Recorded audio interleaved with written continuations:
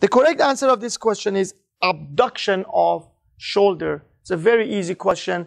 Deltoid muscle, most of us know the main action of deltoid is abduction of the shoulder. This muscle is helping, uh, is receiving help with another muscle. We call it supraspinatus muscle. Supraspinatus and deltoid muscle, they both perform abduction of the shoulder. But a little bit more you need to know about deltoid muscle. Deltoid muscle actually has three types of fibers. Some fibers are more on the anterior side. Some fibers are on the middle side. Some fibers, they are on the posterior side.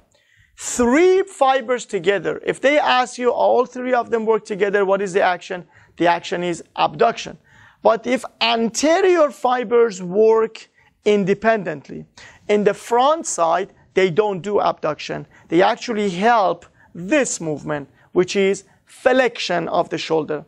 If they ask you posterior fibers of deltoid, what they do, they do opposite action. They do posterior movement, which is extension. So, if, so make it simple. If they ask you deltoid muscle altogether, what is the action? The action is abduction. If they say the middle fibers of deltoid, what is the action? Again, abduction. If they say anterior fibers of deltoid, flexion. If they say posterior fibers of deltoid, extension.